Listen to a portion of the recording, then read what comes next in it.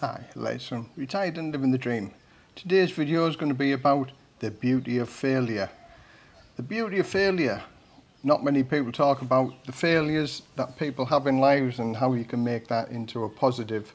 And today I'm going to give you some examples of my failures and how I've turned them into a positive thing.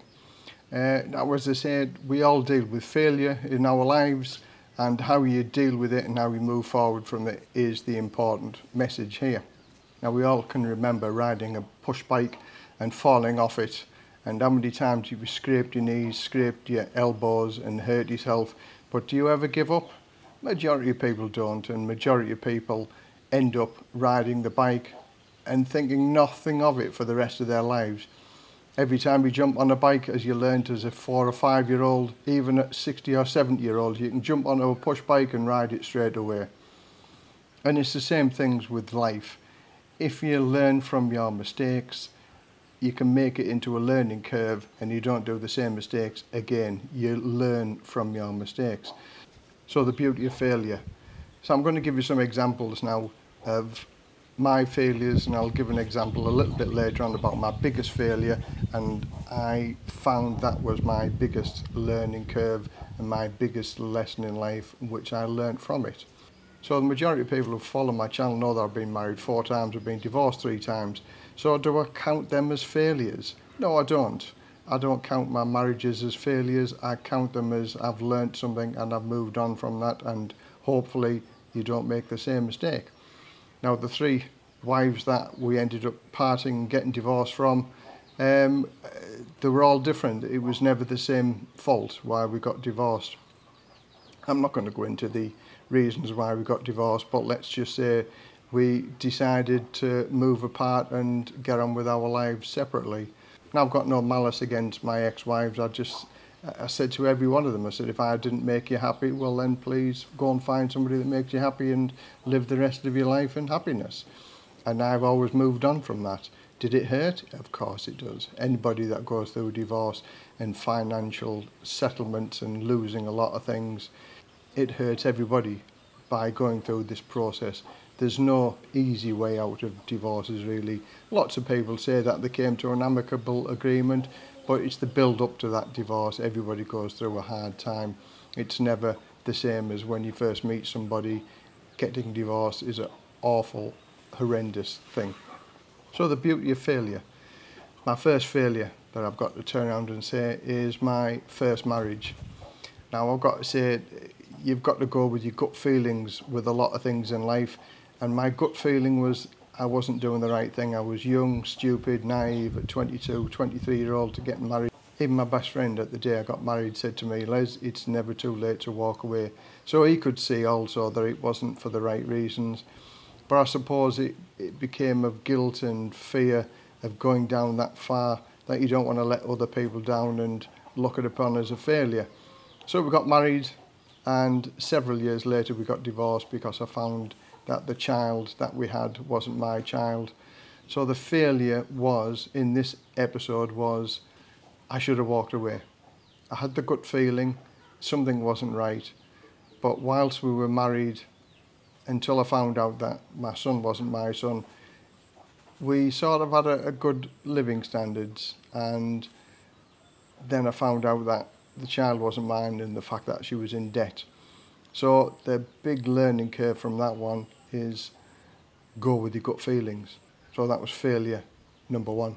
Failure number two, she was a lovely girl and as I say we got married and she had nothing but I always had the spirit of working and providing and being a good family man and taking care of my wife and my children.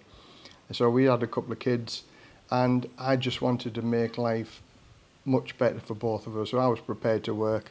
Um, so she didn't have to work. So she packed in a job, so I took on more responsibility and work. And I worked very, very, very hard to be able to support my wife and two children. Now, again, circumstances I'm not going to go into here. Um, we ended up getting divorced. So I was always a bit of a risk taker. And I got offered a, a place on the self-build scheme.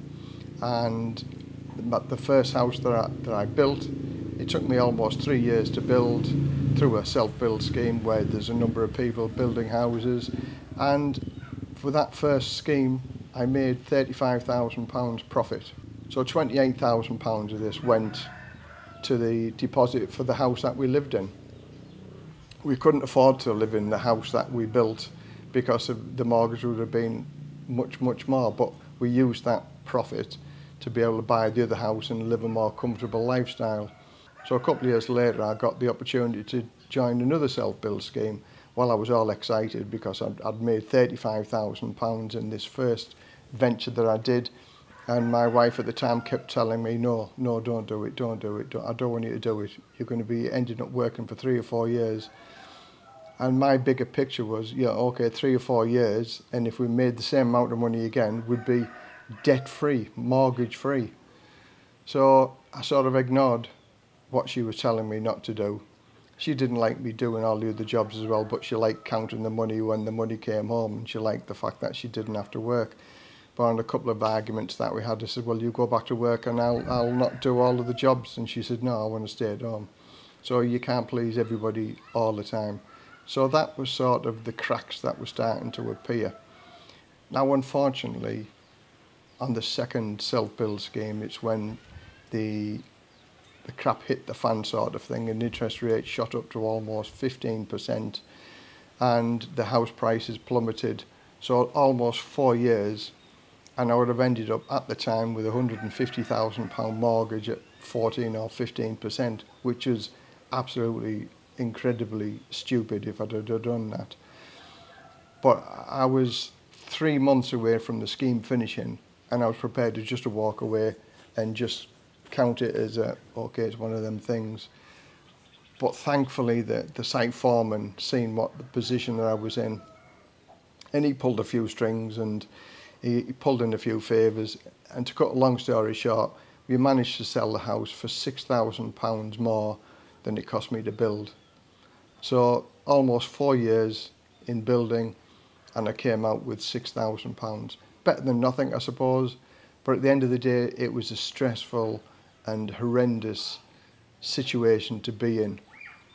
So that was failure number two. So what did I learn from failure number two? The knowledge I gained through building my own house over them four years was immeasurable I became proficient at doing a lot, a lot of things, and I knew this was always going to save me money in the future. So that's where I learned from that. I got so many times from my from my wife at the time, my second wife, saying, "I told you so, I told you so, I told you so," and but I took the risk, and on that particular occasion, it didn't it didn't work out as I thought it was going to do. But the knowledge I gained from there was brilliant. Then I went on to buying some other properties using the equity we had in the house and I bought a couple of properties which are rented out as stu student accommodation And uh, again, I got ripped off by the government because the government took all one of my houses to rent out to refugees. But that's another story, it's another video. So life is a learning curve and you learn from everything that you do. So shortly after um, buying these houses, things started to go wrong and my ex-wife, um, she decided she didn't want to be with me anymore. Uh, I was at the end of the day I was working seven days a week with four different jobs and um, yes we had a lot of debt because we took the mortgages on the houses and I was just about to buy my fourth house and she said I can't live with you anymore doing this so at the time I had uh, two beautiful daughters and I said, okay, I'll change. I'll sell everything that we've got. Um, I said, I'll just be the firefighter because that was my full-time job, being a firefighter. And I said, I'll give up everything to be with you and the kids. I said, but because then we'll have no money or we'll have very little money, you will have to go back to work. Did you like that solution? No, because she didn't ever, ever want to go back to work.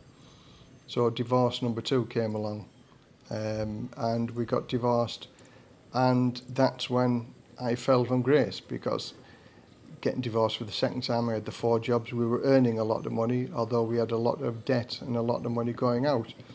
So she tried to, to get as much financial support off me to her that she could manage to get because I was earning a lot of money and the courts were looking into the fact that I was earning a lot of money so therefore my financial support was going to be a lot to my ex-wife and my two children. I had no problems paying for financial support for my children.